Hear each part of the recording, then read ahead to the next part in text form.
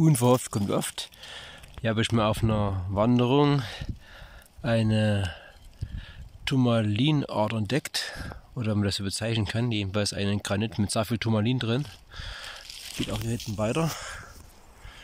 Geht hier rein. Sieht man schon. Dem Weg schon abgebrochen rum. Hier geht es auch weiter. Ich hoffe, es wird ein bisschen mehr. Ja, es wird definitiv mehr. Hier liegen noch mehr Brocken rum davon. Sogar nicht mal schlechte Stückchen. Wie man ja sieht.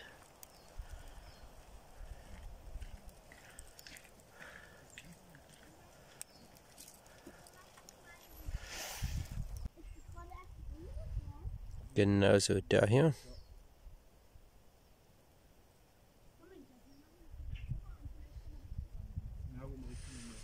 Sind noch weitaus mehr Brocken runtergefallen.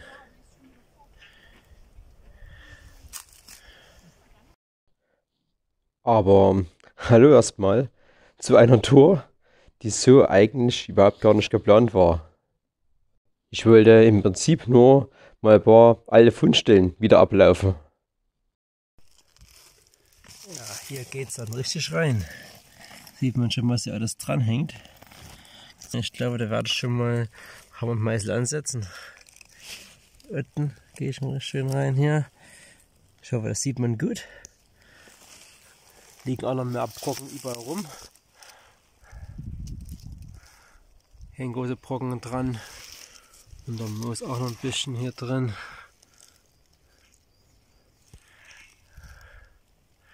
Ui, cool. Moment. Den hat vielleicht jemand liegen gelassen. Der ist doch gar nicht schlecht. Jetzt nicht so mit ganz großen Strahlen, aber für an für sich schönes Stückchen.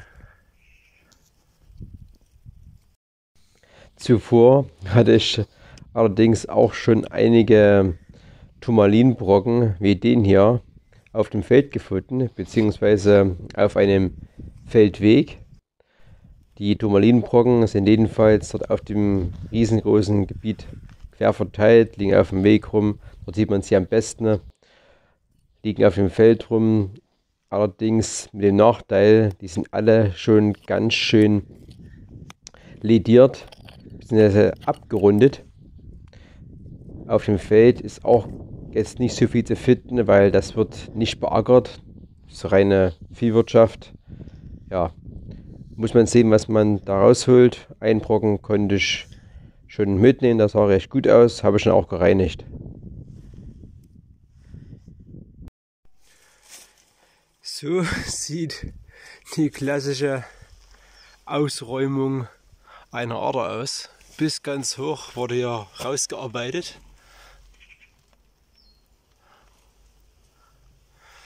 Man sieht teilweise manchmal noch die Hammerstellen.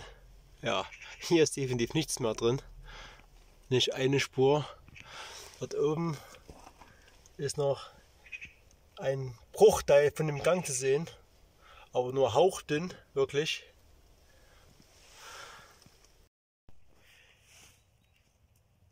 Hier haben wir auch noch einen Quarzgang offenbar. Ob bald was bringt, weiß ich nicht. Ich habe ein paar Schläge ransetzen, um zu sehen, was das für Material ist. Zeigt jetzt leider keinerlei Neigung zu einer Kristallisation. Auch weiter oben kann ich jetzt nichts entdecken, dass irgendwelche Kristalle ausgebildet werden. Also wie man so schön sagt, taube Nuss.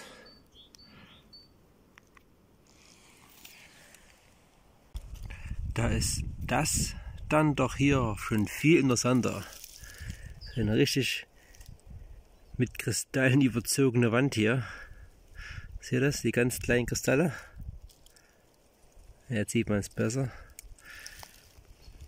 Die ganze Wand ist davon voll. Teilweise noch abgedeckt. Vielleicht lässt sich ein Stück abmachen davon. Hier geht es weiter. Ein hauchfeiner Kristallrasen von so 1 bis 2 mm hohen Kristallen sieht man auch selten. Ich habe euch die Band ja früher schon mal gezeigt in einem anderen Video. Aber heute versuche ich mal hier ein kleines Stück davon zu gewinnen. Aber wie ich mir schon was dachte, diese Schicht ist so hauchdünn, dass es sofort zerbricht. In viele kleine Stückchen sieht man schon, es ist ganz dünn. Aber wenn man hier reingeht, ganz dünne Schicht, hier oben sieht man es noch etwas besser. Ja, die misst wirklich nur vielleicht 2-3 mm dort die Schicht hier, hier an diesem Punkt. Tief ist die jetzt nicht wenn man die abmacht. Deswegen ist die auch schon so richtig überall. Zerbricht sie sofort. Ja, da sieht man es mal etwas besser. Ganz dünne Schicht. Ja, hat keinen großen Sinn. Lassen wir das der Natur als Schönheit hier. Vielleicht an einer anderen Stelle nochmal probieren, wo das größer ist, beziehungsweise dicker. Hier ist nochmal genauso eine Schicht, wie man es so ein Kristallrasen über den ganzen Fels verteilt. Geht hier rein. Auch hier sieht man, wie dünn das Ganze ist. Ja, an dieser einen Stelle. Hauchdünn. Bricht man es auf, ja, hat man einfach nur Scherben. Und selbst wenn man sich jetzt mal die Gegenseite vornimmt, haben wir so einen großen Granitklotz hinten dran. Und bei genauem Hinschauen sieht man auch hier komplett gerissen. Das heißt, es wird auch kaum möglich sein, den beispielsweise hier hinten äh, runterzuziehen, wird trotzdem zerbrechen.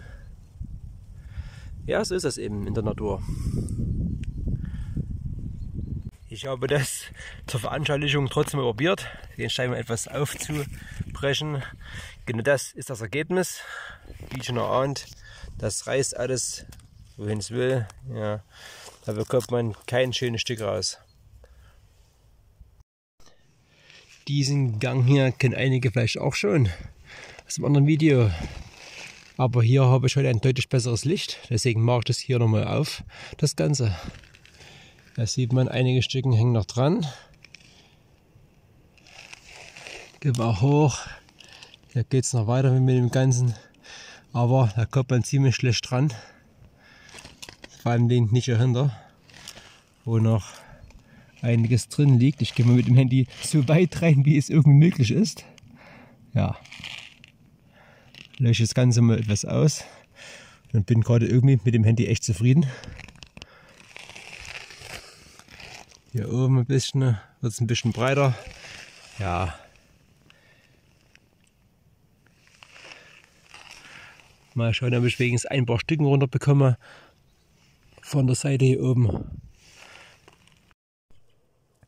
aber außer sich die Finger wund zu schlagen, zu kratzen, erreicht mir, denke ich, gar nichts. Ich habe jetzt mal einige Brocken inspiziert.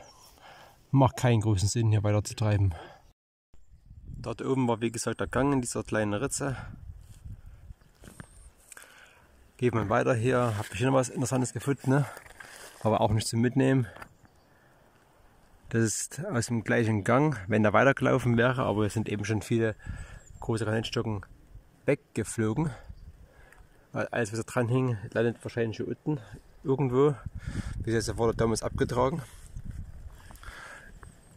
Hier sieht man jedenfalls so richtig schön das Eisen auf dem Quarz.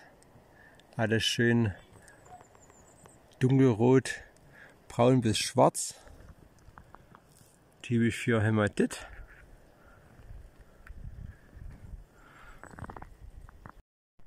Auch an dieser Stelle hängt noch ein Stück dran von dem Gang. Aber sonst kann ich ja nichts weiter finden davon. Auf der Seite gegenüber habe ich noch eine weitere Felsspalte gefunden mit Quarz. Ich werde das Handy jetzt mal nach hochkant stellen. So komme ich nämlich weit tiefer rein. Dann sieht man hier das nochmal ganz gut hier. Ja. Auch wieder mit so einer mit so einem Art Kristallrasen hier dran. Eigentlich sehr schön, aber leider nicht zu gewinnen, das Ganze. Ich dachte ja erst, heute fällt die Suche sehr bescheiden aus. Aber ein Blick umgedreht. Ja, dort haben wir es gefunden. Ausgerechnet auf dem Bauschuthaufen. Warum nicht? Bei den schönen Reinigen und diesen Haufen auf jeden Fall noch etwas gründlicher untersuchen.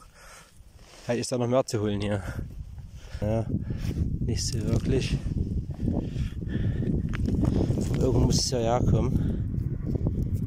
Größere Quarzbrocken. Hm.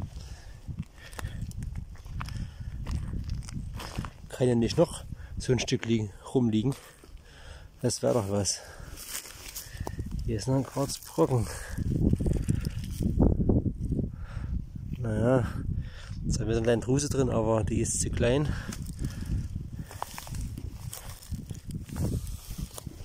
Hier ist auch noch einer. Die sind kurz beiseite.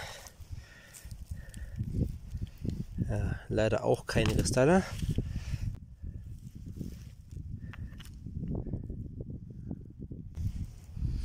Auch nichts.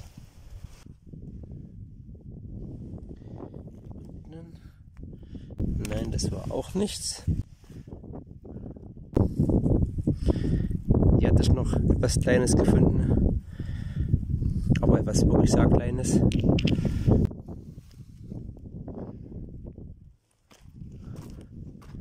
Auf den Haufen glitzert noch etwas. Aber könnte schöner sehen.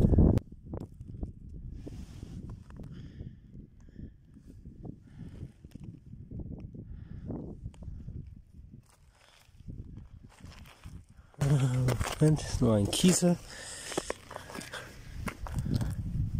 Nein, ich glaube, das war's hier vorläufig gewesen. Dann gehe ich mal weiter. Ich bin heute wieder mal einfach ein paar Fundpunkte mal abgelaufen, ein paar alte für äh, kommen dann gleich zur Auswertung. Ist jetzt nicht wahnsinnig viel. Mir hat es gereicht. Hätte ich so teilweise gar nicht erwartet. War ja auch nur so ganz spontan. Jetzt geht es auf dem Heimweg zur Auswertung und dann geht es nämlich weiter zu dem neuen Hotspot. Das erste, kleinste wäre das hier. Auf dieser einen Bauschutthalter. So eine Art Rauchquarz, ein bisschen hier rangeht. Mit kleineren Einschlüssen in den Quarzen, wie man sieht. An sich ganz nett. Ja, viele kleine glitzernde Spitzen hier drauf. Mit ungefähr 2 bis 5 mm. An sich ganz schön. Das andere Stück, was mich zuerst angeschaut hat, auf dem Feldweg, war dieser Turmalin hier. Jetzt nichts von besonderem Wert. Allerdings fand ich ganz interessant, wie die Turmalin-Kristalle hier in diesen Quarz reingewachsen sind. Wenn man ein bisschen rangeht, schön durchsetzt hier das Ganze. Auch hier, ich drehe es mal etwas so rum. Diese typischen Turmalin-Sonnen oder Aggregate, wie die sich in den Quarz reingesetzt haben. Auf der Rückseite ist jetzt nicht so viel, ist eben auch ziemlich derb. Wie gesagt, da lag auf dem Feld schon ziemlich abgewetzt durch Lattmaschinen, nehme ich mal an. Hier hat man noch so eine kleine Turmalinsinne beziehungsweise Aggregate davon. Sind immer nur kleine Bruchstücke von der Sonne, die es mal werden sollte vielleicht. Hier drin zum Beispiel auch. Ja. Der wirklich größere, der mir am besten gefallen hat, war der dann, der direkt an der Fundstelle lag. Dion hat wirklich sehr viele Aggregate bzw. schöne Kristalle hier drin. Auch so nah rangeht.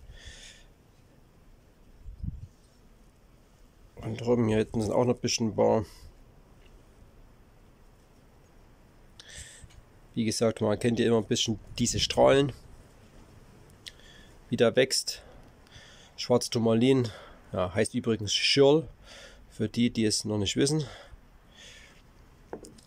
Das, warum ich überhaupt diese Touren manchmal in diese Richtung mache, ist, weil ich immer wieder auf diesen Feldern solche Turmalinen gefunden habe. Unter anderem dieses Riesenstück aus einem früheren Fund. Ja, das ist ungefähr 30 mal 25 cm groß, die Platte. Hat überall solche Strahlen drin. Leider ein bisschen mit kleinen Flechten bewachsen gewesen. Ich habe die auch bis jetzt noch nicht wegbekommen. Wer da für mich einen Tipp hat, wie ich die Flechten wegbekomme, die darauf gewachsen sind, auf diesem Stück, ja, ich sehr dankbar. Ziemlich wirklich groß. Ja, auch hier größere Stückchen mit schwarzen Turmalin. Meine Hoffnung ist ja immer, dass ich mal einen Turmalin finde, der richtig frei steht oder zumindest so einen richtig großen Strahl, wie man sie damals bei Öfers Green gefunden hat. Bis jetzt noch keinen Erfolg gehabt, meistens nur solche stufigen Aggregate gefunden. Ne? Gekürnt oder eben abgerieben. Das war jedenfalls mal was. So ein großes Stück. Einen farbigen Turmalin werde ich hier wahrscheinlich nicht finden. Wurde auch bis jetzt noch nirgends gefunden hier in der Gegend. Deswegen mache ich mir da auch keine Hoffnungen. Ja. Aber sonst ganz schöne Stückchen. Vielleicht finde ich mal wieder ein größeres Aggregat. Ansonsten würde ich mich jetzt gerne von euch verabschieden. Ich hoffe, euch hat das Video gefallen. Würde mich wieder sehr über Likes und eine Menge Abonnements freuen. Schaut bald wieder rein. Das nächste Video ist sicherlich schon in Arbeit.